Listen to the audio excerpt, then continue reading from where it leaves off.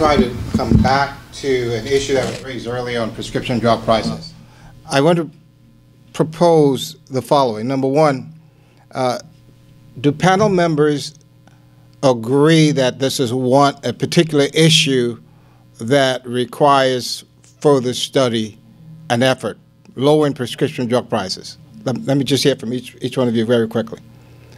And uh, would you be open to participating or continuing this discussion as an, a working group to look at ways to lower prescription drug prices in New York State uh, in, in methods that are not being considered now. And the reason I'm saying this is when I look at some of the bills that are proposed today to do so, and I look at what Governor uh, Cuomo has proposed recently, uh, much of that focuses on setting prices or looking at ways to impose penalties if you go over those prices. And I have seen very little that looks at means that takes it down through competition, as the, the gentleman raised earlier. Whether it's competition or whether it's importing it from other places or other ways to actually take it down through capitalistic means you just raised.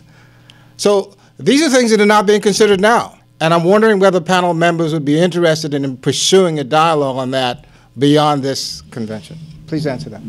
I can just make the comment. I, I think so, some of that works for especially generic drugs, and this is where we see, uh, you know, whether it's the Target four dollar form, formulary or Walmart or CVS or Medicaid for for uh, for generic drugs. This is where I've seen the market be very successful, where you can get lots of drugs for ten dollars for for nine months.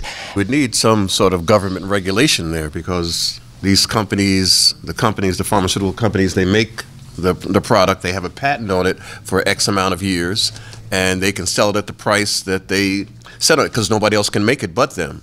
Now, once the patent goes away, in my business, we see that with oral contraceptives. They, they put out a product and no other company can make it for X amount of time, and then all of a sudden, when that patent expires, now the price drops down dramatically because now it's generic.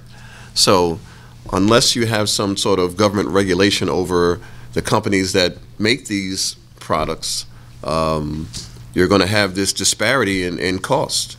We need new policy solutions because everything that's been put forth at this point for the past decades uh, haven't been successful for a variety of reasons. But I also don't want us to lose sight of the fact that there are a lot of single source generics that are increasing rapidly. We're seeing 800% year over year increases for generic drugs, but there's only one manufacturer.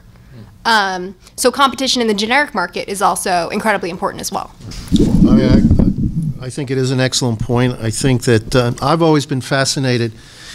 You know, hospitals are buildings, and the physicians are really the ones that order the medications on behalf of the patients. So I think we'd have to get um, the medical societies involved in this as well.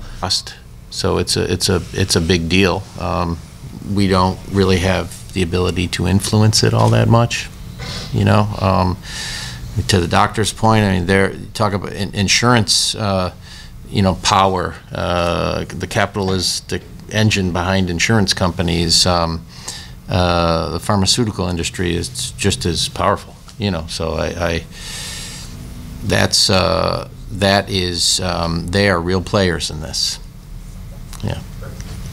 Yeah. Well, I want to thank you for outlining our next steps uh, in the forum, uh, really pursuing opportunities uh, that would uh, find ways to redu reduce prescription drug prices. I, I but uh, my son came down with diabetes. He called me from the emergency room. He's 25 years old, so I'm kind of still in charge here. Uh, asked me to get him some uh, metformin.